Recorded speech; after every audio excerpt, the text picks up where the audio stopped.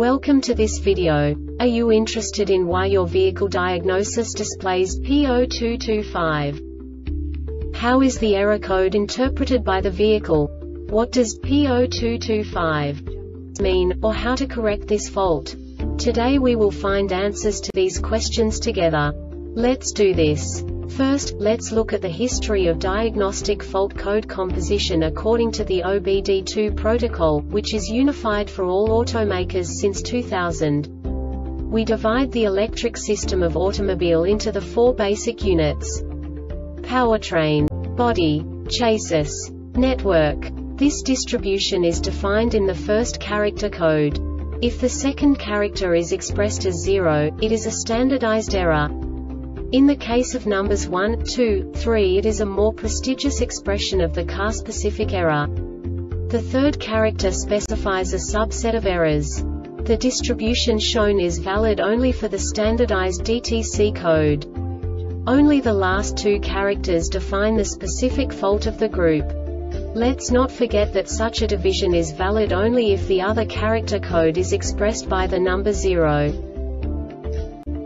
Our website airbagreset.sk produces useful videos for you.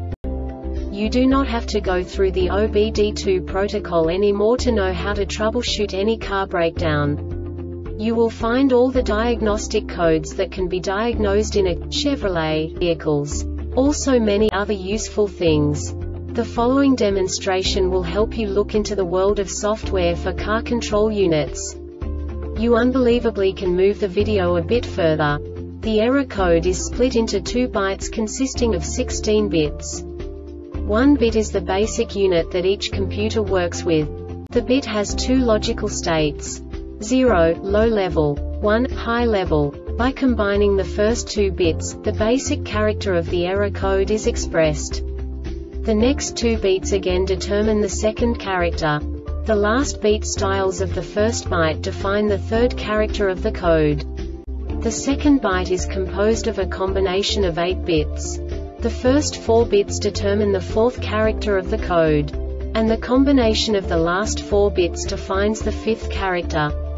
A single byte conceals 256 possible combinations. We now know in what way the diagnostic tool translates the received information into a more comprehensible format.